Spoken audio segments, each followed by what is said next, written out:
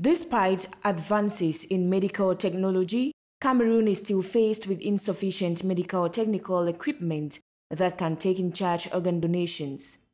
According to various reports, the rate of organ donation is less than one donor per million people. The recent case is that of 39-year-old Cameroonian Dr. Biakolo Isomba, who had to undergo a liver transplant. Due to lack of adequate medical equipment, he was transferred to the Manipal Hospital in India for treatment.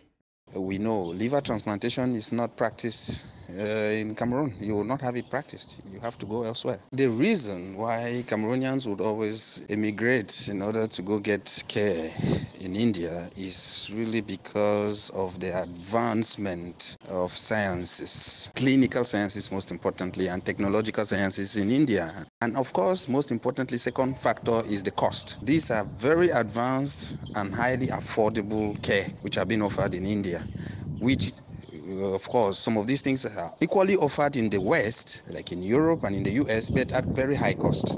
So you would see um, those who have a bit of the means in the middle class in Africa, sub Saharan Africa, and uh, Latin America going for care specialized quality technological care, clinical care in India because they know that they can afford either from their pockets or, of course, from support from their uh, their countries but which they cannot have easily in the West because the cost will be at least two, three folds.